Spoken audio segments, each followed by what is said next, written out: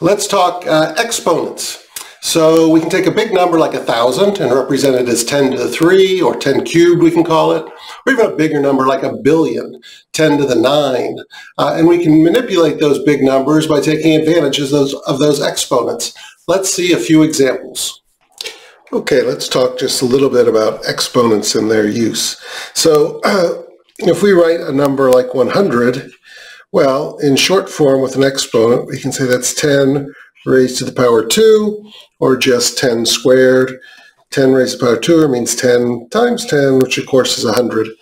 And you might say, well, what's the use of that? I can always just write 100. Well, at some point, if we go out to a million, well, it gets a bit cumbersome to write. So let's do it as 10 to the sixth. Conversely, we could do 1 over 10, or we could write that as 10 to the negative 1. We could do 1 over a 1,000. We could do that as 10 to the negative 3. Uh, now, the nice thing about exponents then is you can do uh, math by just adding and subtracting. So for example, 100 times 1 over 10, well, that's 100 divided by 10, which is just 10. We could have done that as 10 to the squared, so 100, 10 raised to the power 2, times 10 to the negative 1.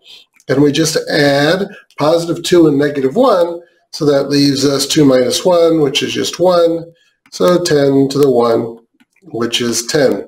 So that opens up the possibility of doing large numbers like 10 to the 10 times 10 squared times 10 to the negative 3. And I can figure that out by taking 10 plus 2, which is 12, 12 minus 3, which is 9.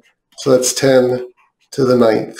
Or it is a lot of zeros. So 10 to the ninth is 1 billion. So 1, 9 zeros is 1 billion, 10 to the ninth, where we have 1, 2, 3, 4, 5, 6, 7, 8, 9 zeros. Uh, conversely, we could have done uh, 0 0.00000 uh, 0, 1, and that would write as 10 to the negative 6, where we have 6 zeros on the other side of the decimal point. 1, 2, 3, 4, 5, 6. So that's an introduction to notation using exponents. Acabou.